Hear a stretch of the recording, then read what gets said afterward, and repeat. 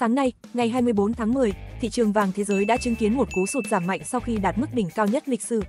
Cụ thể, giá vàng trên sàn Kitco hiện đang giao dịch ở mức 2.717 đô la Mỹ một ounce, giảm tới 30 đô la Mỹ một ounce so với phiên giao dịch trước. Đây là một diễn biến bất ngờ khi chỉ trong thời gian ngắn, vàng đã từ đỉnh cao nhất lịch sử lao dốc. Sự sụt giảm này được cho là do áp lực từ việc đồng USD và lợi suất trái phiếu kho bạc Mỹ tăng mạnh. Cụ thể, chỉ số US Dollar Index đã tăng 0,3% và đạt mức cao nhất trong vòng 3 tháng, gây áp lực không nhỏ lên giá vàng. Khi đồng USD mạnh lên, giá trị vàng thường giảm đi do người mua phải chi tiêu nhiều hơn khi giao dịch bằng các loại tiền tệ khác.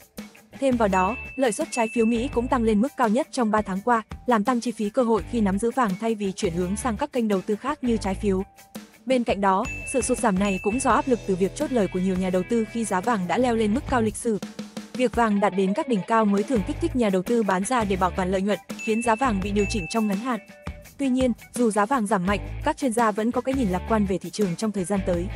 Các yếu tố bất ổn địa chính trị, cuộc bầu cử tổng thống Mỹ sắp tới và sự gia tăng gánh nặng nợ công tại Mỹ đang khiến giới đầu tư lo ngại và tìm đến vàng như một kênh trú ẩn an toàn.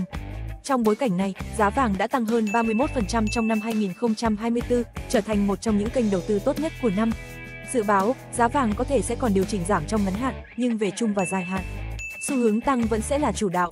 Các chuyên gia dự báo rằng giá vàng có thể đạt mức 2.800 đô la Mỹ một ounce trong năm 2024 và tiếp tục hướng tới mốc 3.000 đô la Mỹ một ounce vào năm 2025. Những yếu tố như diễn biến chính trị tại Trung Đông hay cuộc bầu cử tổng thống Mỹ sẽ tiếp tục tác động mạnh tới thị trường vàng trong thời gian tới.